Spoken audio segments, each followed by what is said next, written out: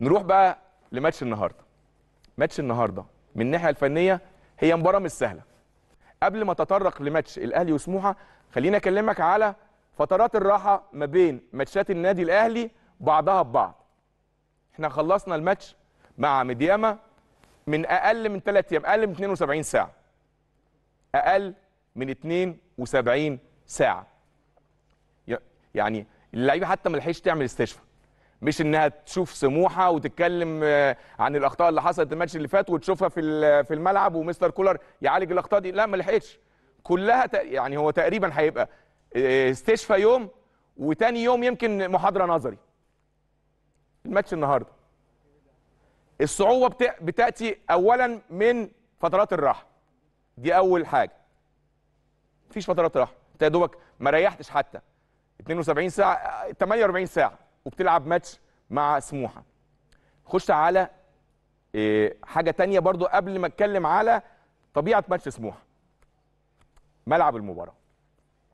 ملعب المباراة نفسه بيبقى طبيعة الأرضية بتاخد وقت في بعض الأوقات في بعض الأوقات لما تكون أرضية ملعب ناشفة بتحتاج استشفاء زيادة شوية. مفيش استشفاء.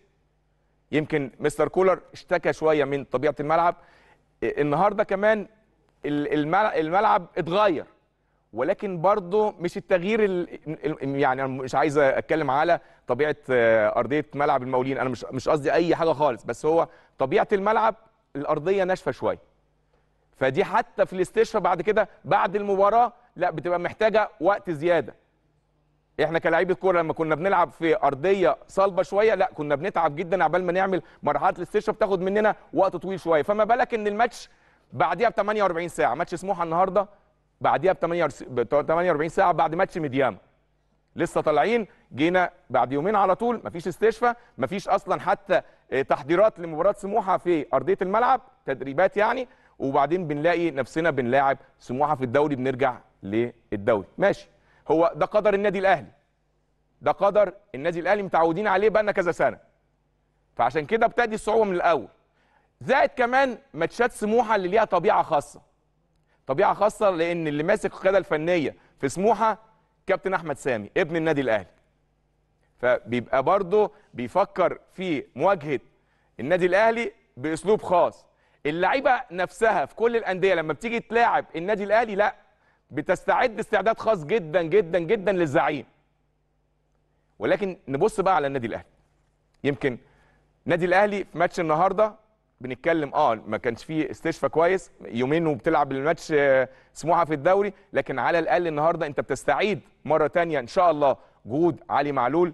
وزي ما قلت لحضراتكم عودة عمرو السولية بنقول له الحمد لله على السلامة بعد غياب فترة كبيرة زي ما بقول لحضراتكم إصابة وتأهيل. كمان النهارده ممكن تشوف مباراة تكتيكية بقى من الفرقتين وفكر خاص ما بين مستر كولر مباراة خاصة ما بين مستر كولر وأحمد سامي. دايما. أو عمرو السولية طبعا آه، معانا على الشاشة. ونتمنى له يا رب التوفيق والبعد بقى عن الإصابات. هو زمانه عيني زهق الراجل ونفسه مفتوحة للملعب. اتمنى إن شاء الله إن يبعد الإصابة عن الجميع عن الجميع كل اللعيبة مش في النادي الأهلي بس يعني. المهم ماتش النهارده زي ما بقول لحضراتكم بيمثل أهمية كبيرة جدا جدا جدا لأي فريق. هتقول لي سموحة النهارده؟ آه بيمثل له المباراة يعني أهمية كبيرة جدا لأنه بيلعب ضد الكبير. ضد النادي الأهلي. فكله عايز كله عايز يثبت النهارده أنا قدام النادي الأهلي أنا لا ده أنا أستحق إن أنا ألعب أساسي في سموحه ده أنا أستحق ألعب في أي حتة تانية ده أنا أستحق ألعب في النادي الأهلي نفسه. فهتلاقي مباراة خاصة للعيبة لعيبة سموحة ضد لعيبة النادي الأهلي.